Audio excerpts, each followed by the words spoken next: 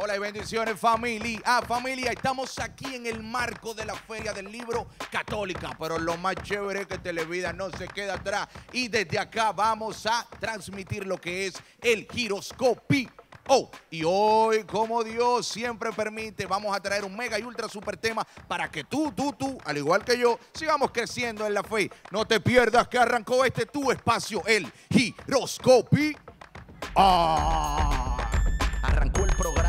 En la fe, con temas de interés para usted y para usted. Palabras de vida que alegran el corazón, con música, entrevista, testimonio y oración. Contenido positivo, constructivo y divertido. Esto es para los grandes, también para los chiquitos. Si está vacío, te va lleno de gozo. Sean bienvenidos todos al giroscopio. Giroscopio. Giroscopio.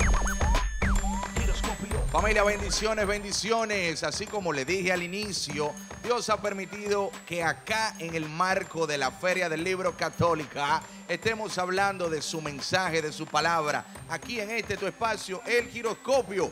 Y en esta oportunidad, en esta ocasión, tenemos nada más y nada menos que a mi hermano del alma, Don Federico. Federico para los otros, pero para mí de ahí ahí, Don Federico. Ponga cinco para calmemos 10. Mírelo ahí. Hola, muy buenas tardes. Qué alegría estar con ustedes aquí compartiendo este programa tan especial, ¿eh? Giroscopio. Fe- felices estamos nosotros de recibirle a usted. Personas que han aportado tanto en lo que es la construcción de la civilización del amor. Usted en representación de lo que son los cursillistas. Acá, uno de los movimientos de nuestra iglesia católica que se dedican a qué? A evangelizar. No hay que hablarlo. Eh, ese- porque esa es nuestra si misión. Son frutos de la iglesia católica. Su, su fuerte es la evangelización. La evangelización. Entonces, los cursillistas son también los organizadores de este proyecto de evangelización que es la Feria del Libro Católica. Cuéntanos un poquito de esto, cómo nace esto, cómo surge esto. Sí, fíjate, la, la Feria del Libro Católico eh, tiene ya 30 años. O sea, gloria ese- a Dios, Este gloria es su, su 30 aniversario y o sea, tenemos todo ese tiempo de manera ininterrumpida celebrando esta feria. Y surgió como eh, una idea para ayudar a expandir más esa evangelización que es lo prioritario en Para- nuestra para iglesia. nosotros los cristianos seguir creciendo, educándonos, conociendo nuestra fe. No obstante a esto, tienen y traen personas conocedoras del mensaje, personas con testimonio de vida para compartirlo con nosotros y así nosotros seguir creciendo en nuestra fe.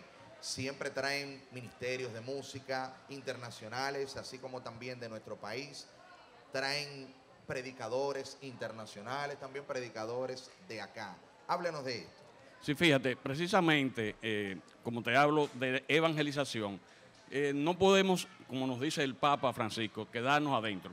Tenemos que salir hacia afuera, entonces tenemos que abrirnos a ese público, a ese pueblo de Dios, para que también pueda eh, aprovechar toda esta eh, mecánica, eh, este movimiento, para que la gente llegue, le llegue el mensaje de una manera directa y de diferentes puntos de vista, porque tenemos predicadores de, la talla de Salvador Gómez, eh, Saulo Hidalgo. Claro, eh, claro. Óyeme, es una cantidad de, de- de- de predicadores que cada uno tiene una visión una, y una misión que, que- que cumplir. Y desde luego el movimiento de Crucido de Cristiandad ofrece a todo el público, a todo el pueblo de Dios esa oportunidad. Es, esto es uno de los frutos del proyecto de evangelización de lo que son los cursillistas, ¿verdad? Pero mire otro muchachito de ustedes, este es uno de sus hijos. Sí. La revista Palanca. ¿Qué tiempo tiene la revista? Bueno, la revista está a punto de cumplir 50 años. Oye, Sí. pero se le fue adelante a la feria. O Así- sea, cuando la feria quiso venir, ellos tenían cédula con la palanca. Así mismo es. Pero no obstante a esto, acá podemos ver temas, testimonios, apoyo a los conciertos y eventos de la evangelización dentro de nuestra iglesia católica. Fruto de lo que es el movimiento cursillistas de cristiandad.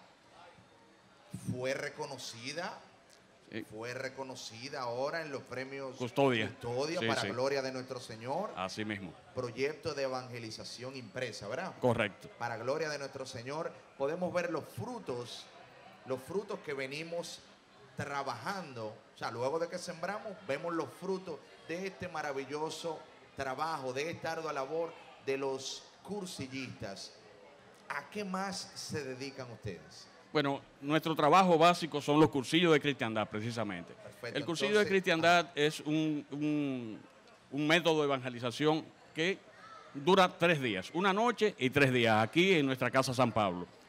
Sí, porque también tengo entendido que Casa San Pablo eh, es manejada por ustedes, ¿verdad? Claro, por movimiento de cursillo de cristiandad. Casa, Casa San Pablo, otro de los frutos de esto, porque es un proyecto de evangelización. Casa San Pablo, aquí realizamos congresos, retiros, eh, conciertos. Y el cursillo de cristiandad, y por sobre supuesto. todo el- el- lo que son los cursillos de cristiandad para pertenecer a esta hermosa familia. Entonces, es. duramos tres días llenándonos del Espíritu Santo, capacitándonos, formándonos para ser miembros de esta familia. Así es. Entonces, luego de, ¿qué pasa? Bueno, después que eh, recibimos eh, esa evangelización a través del cursillo de cristiandad, que tenemos esa vivencia personal, ¿eh?